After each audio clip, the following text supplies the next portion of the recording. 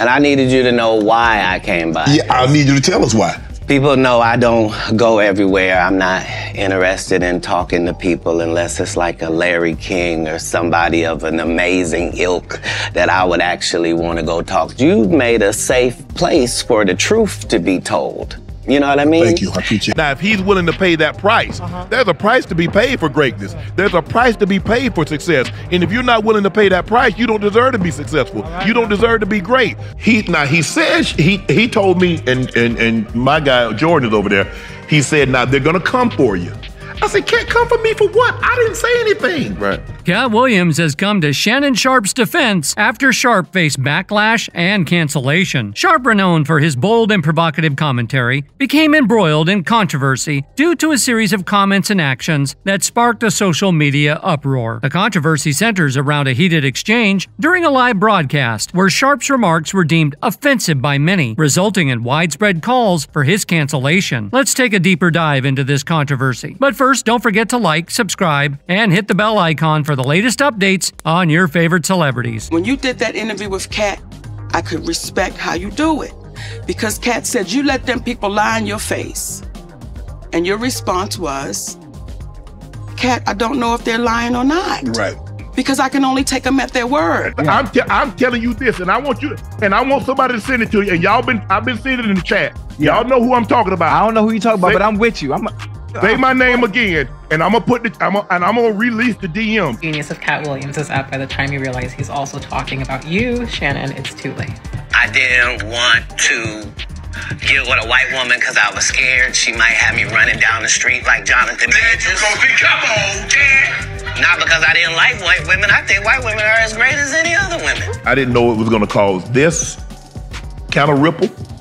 Um, I didn't think it was gonna move me in the direction. I'm glad it did. Being a celebrity often brings significant challenges, which Shannon Sharpe is now experiencing firsthand. The industry's toxicity, a reality Katt Williams warned about a few months ago, is becoming increasingly evident for him. Despite the impressive traction Shannon's podcast, Club Shay Shay, has gained, especially following Katt's interview, his recent success hasn't been universally embraced in the industry. In a recent interview, Shannon voiced his frustration over attempts by numerous celebrities to cancel his show and undermine his success. These efforts have escalated to threats, and many guests who were once eager to appear on his show have suddenly canceled without explanation. I'm like, you think so?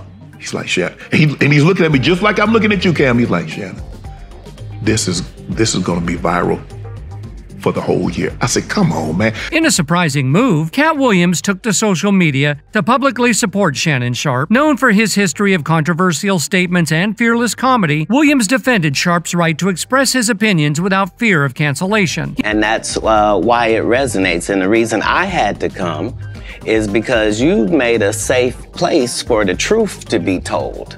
You know what I mean? Thank you. I appreciate And that. I have watched all of these lowbrow comedians come here and disrespect you in your face and tell you straight up lies.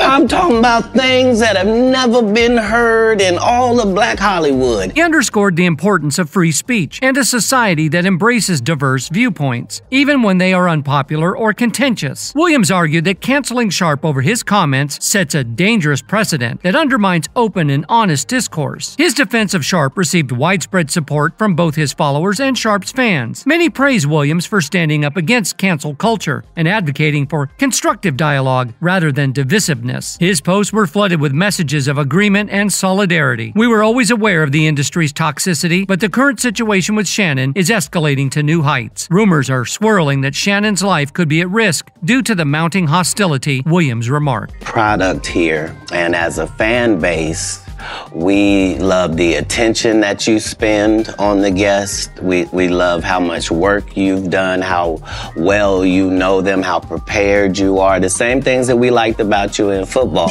you brought that on over to here. In a recent interview, Shannon Sharpe discussed the unsettling challenges he's faced since his viral interview with Katt Williams earlier this year. Speaking with Cam Newton, he elaborated on why celebrities feel comfortable sharing their stories on his podcast. Shannon explained that before each interview, he asked asks his guests if there are any topics they'd prefer to avoid, aiming to create a comfortable environment where they can genuinely express themselves. He emphasized that he has never claimed to be a journalist and does not identify as one. For those who may not be familiar, Shannon Sharpe is a highly accomplished former NFL player, inducted to the Pro Football Hall of Fame in 2011. After his distinguished football career, he transitioned to broadcasting, serving as a commentator on CBS Sports pregame show The NFL Today, which featured segments like the Sprint halftime report and the Subway post-game show. In 2013, Shannon broadened his reach by becoming a columnist and spokesperson for Fitness RX for Men magazine, even gracing its cover. Later in 2016, he joined forces with Skip Bayless on FS1's sports debate show Skip and Shannon Undisputed. Shannon Sharpe didn't dive into podcasting merely to follow a trend. He was already well established in the industry. Alongside hosting Club Shay Shay, he co-hosts another podcast, Nightcap, with retired NFL player Chad Ochocinco Johnson.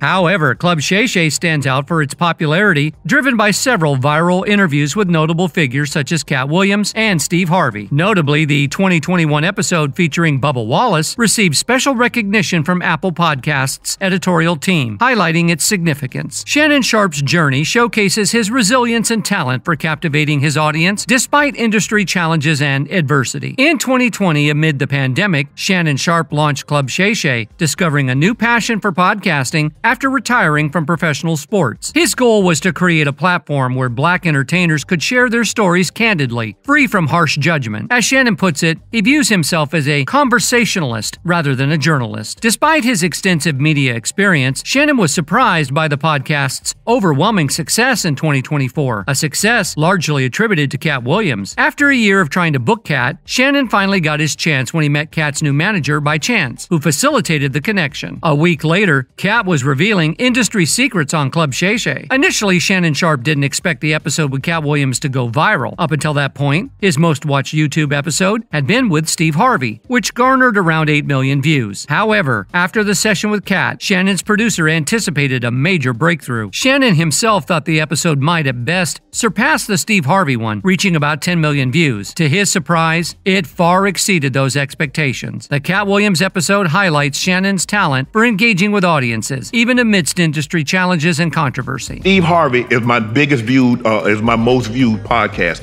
He's at 8 million. I said, You think we're going to beat Steve? He's like, Yeah. I'm hoping for 10 million. Yeah. That's all. Cam, if I get 10 million, I'm like, That's a pretty good interview. Yeah. Think about how, how few people that's in this space that interview people that don't get 10 million. So if I get 10 million, that's one of the biggest podcasts. Now, that's not Joe Rogan's numbers, but that's pretty good for up and coming podcast. Katt Williams made headlines by accusing Kevin Hart of being an industry plant. He started by challenging Kevin's portrayal of his East Coast roots, arguing that it seemed unlikely for Kevin to build his career on the East Coast and then rapidly achieve major recognition in LA. Katt expressed skepticism about Kevin's swift ascent in the industry, noting how he seemed to appear out of nowhere, securing major roles and TV gigs that typically take years for comedians to land. Katt suggested that Kevin's success was due to questionable practices, implying that he was an industry plant. He also accused Kevin of becoming a gatekeeper, facilitating the rise of other supposed industry plants, such as Tiffany Haddish. That part. Kevin told you he wasn't gonna wear no dress until they offered him the dress, and then he put it on. And what did he say after he wore it? I made my own decision. Duh. But you didn't make it before they brought it up, did you? It's okay. It's Katt Williams' harsh critique of Kevin Hart was hardly surprising given their long standing feud. In a previous interview, Katt had voiced his disapproval of Kevin's decision to wear a dress on screen, suggesting that such portrayals of straight black men were part of a deliberate agenda by industry gatekeepers to undermine black masculinity. Katt also highlighted a troubling pattern. Whenever he speaks out, the industry responds by attacking his credibility and painting him as unstable. Now, Shannon Sharpe seems to be facing similar backlash. Earlier this year, during Katt's appearance on Sharpe's podcast, he warned Shannon about the potential risks of turning Club Shay Shay into a platform for truth telling. Kevin Hart uh, wearing a dress in the SNL skit. And Dave Chappelle spoke about that as a comedian. Black actors are always, you know, being asked to wear dresses. Have you ran into that? And what do you think about that whole Illuminati theory that people put out there about that? it, it's two answers. First of all, let's be very, very clear. It is possible that there isn't anything funnier than a guy in a dress. And if that's the case, then it might also be said that there's nothing funnier than a black guy in a dress. Okay, well, I watched all of my friends throughout my entire life be able to dunk a basketball, but not me. So everybody can't do everything. So, you know, some of us make choices. I think it's not a biggest choice um, for others.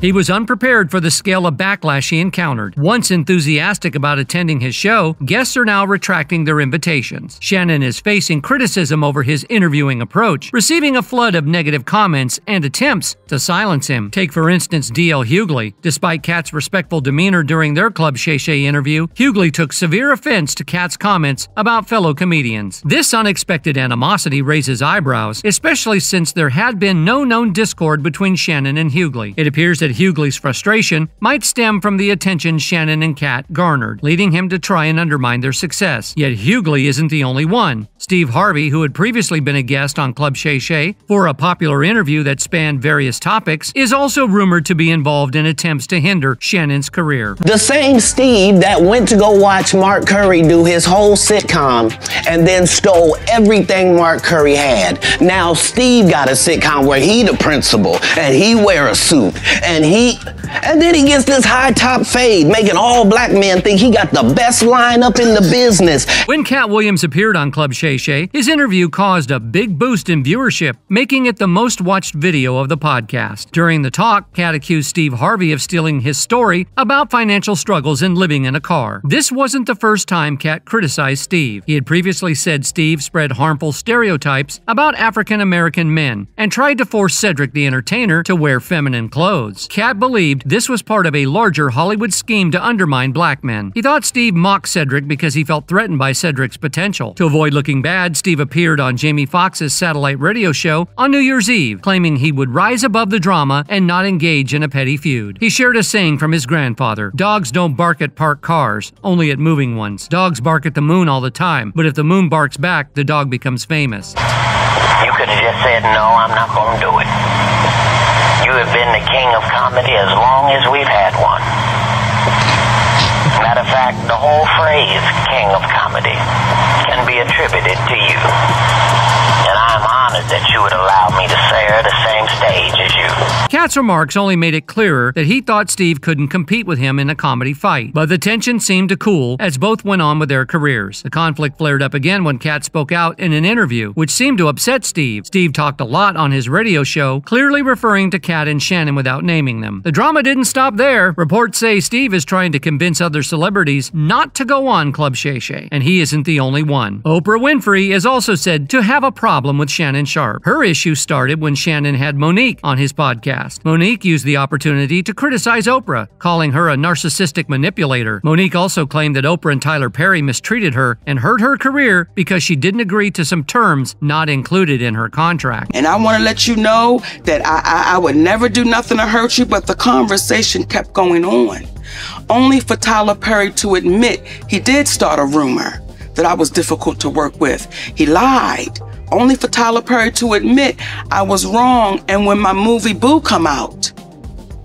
I'm gonna say that. Mo'Nique and Oprah have been feuding for a long time. It all began when Mo'Nique worked with Oprah on the movie Precious. Mo'Nique refused to join an unpaid, unscheduled press tour, which reportedly upset Oprah. Oprah then allegedly spread rumors that Mo'Nique was hard to work with. Both sides were unhappy with the situation. Shannon has also faced his share of controversies. Although Club Shay Shay usually features upbeat interviews where guests have a good time, some episodes have received criticism. For example, Shannon was recently criticized after his interview with Amanda Seales. During the interview, Amanda talked about living with autism and the difficulties she faced, especially as a black girl in America. At the start of the interview, Shannon seemed confrontational. When Amanda mentioned her mother noticing symptoms of autism and how her mind worked differently, Shannon appeared to question her, suggesting she might be exaggerating. Just because you have a special gift, that doesn't mean that, you know, you have a spectrum or you have a, uh, just because you see things differently, it doesn't mean that you're on the spectrum or you. This isn't related to simply how I see things. This is related to how my brain functions. Yes, but just because your brain, just because your brain functions differently from, say, mine. Yes. So you feel just because your brain functions differently that that's what caused it, or there's a clinical diagnosis that Well, some there are clinical diagnoses. for you. Yes, there are clinical diagnoses for autism. Yes. Yeah, I know When that- you when you take the tests, I you know. see when you take the test, you're like, Amanda also shared a story about correcting a teacher who she felt made a historical mistake. As the only black student in the class, she saw the teacher's reaction as racist, which led to a parent teacher meeting that she thought was unfair. Shannon disagreed, saying that in his experience, students didn't correct their teachers, and that the teacher's response might have been more about feeling disrespected than about racism. While both views seemed reasonable, the interview continued smoothly after this tense moment. Later, fans criticized Shannon for being dismissive. The issue with Shannon and his podcast highlights the difficulties of handling media and public opinion, especially when dealing with sensitive subjects and well known guests. Amanda pointed out that Shannon seemed judgmental, despite his claim that his podcast is a non judgmental space. She suggested that although Shannon is likable, he might be better suited for lighter comedic interviews and should focus more on listening rather than pushing his own views. Some people agreed with Shannon, like one commenter who said, Shannon's right. I remember being a kid and being told speak when I was spoken to and come when called. We weren't allowed to correct adults, or we would have been punished. However, most people did not support Shannon. In a recent interview with Cam Newton, Shannon said he could accept criticism if this was the only interview fans had a problem with out of all the ones on his channel. What's surprising is how many people are targeting Shannon. This negativity seems to have started before the Katt Williams interview. Last May, TMZ Sports reported that Shannon's Los Angeles home was broken into while he was out with friends for dinner. The thieves stole watches, jewelry, and designer bags worth about $1 million. Shannon later offered a $50,000 reward for information leading to the thief's arrest, but no good leads have come up. At first, this seemed like an unrelated incident. However, after the interview, rumors began suggesting that the robbery might have been a failed attempt to get Shannon, turning into a theft when the burglars found he wasn't home. It might sound like a far fetched theory, but Shannon wouldn't be the first person to face industry blacklisting from gatekeepers who don't like them. Many fans are confused about why Shannon is being targeted, especially since he just provides a platform for black celebrities. Even with Katt's support, Shannon seems quite upset because his viral interview with Katt Williams has caused a lot of drama. Allowing guests to share sensational stories about well known figures will attract a big audience, but it also comes with risks. Shannon must have known there would be consequences. Shannon Sharpe recently talked about the trouble he's faced since his viral interview with Katt Williams earlier this year. Cam asked Shannon how he stays neutral when guests make controversial comments or wild claims about other celebrities who have been on his show. Shannon explained that he lets his guests speak freely without checking every detail they mention. He also discussed the issue between Katt Williams and Rickey Smiley, saying it's not his job to monitor what guests say and that he trusts that they are telling the truth. Shannon mentioned that Katt had proof for his claims and said he prefers to let guests talk without pushing back too much. Katt, and I look at my producer, and he's shaking his head. I'm like, oh man, we done messed up. So I'm like, what did I say? Yeah. Did I say something? He like, this is gonna be the talk of 24. No way. I'm like, you think so? He's like, Shannon. And, he, and he's looking at me just like I'm looking at you, Cam. He's like, Shannon, this is this is gonna be viral. Shannon went on to explain how his interview with Katt greatly boosted his podcast's popularity. Katt had predicted that the interview would be a game changer for Shannon's show, but he also warned that powerful figures in the industry would strike back for giving Katt a platform to reveal their secrets. Shannon confirmed that this has happened. He is thankful for the huge boost in popularity from Katt's revealing comments, but he is also facing significant fallout, just as Katt predicted. It seems some industry insiders are upset with Shannon for laughing at Katt's jokes and are trying to undermine his podcast as revenge. Shannon admitted he understood there could be consequences for having Katt on his show, but he was surprised by the extent of the backlash and negativity. And then he said some stuff that we haven't heard in 100 years in Hollywood. You ain't say nothing.